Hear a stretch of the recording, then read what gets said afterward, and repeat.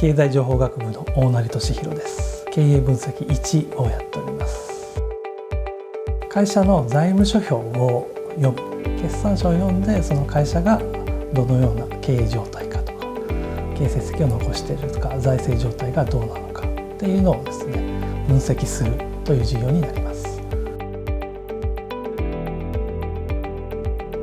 同じ利益でもまあ最終利益が同じでもその途中ですね営業利益とか経常利益を見ることによって、まあ、本業で儲けているのか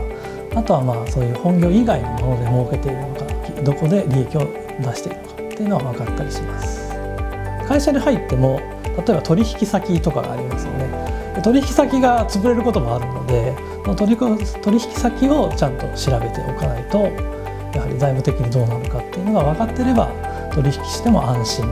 ということになりますので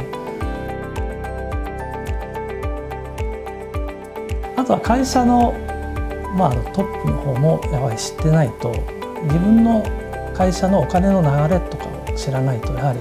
経営できませんのでやはりあの財務諸表が読めないと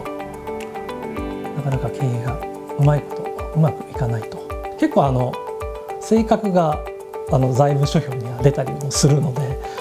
この会社の考え方とかが出たりもするのでやはりトップの人の、まあ、意見を反映することもやはり多いとは思います。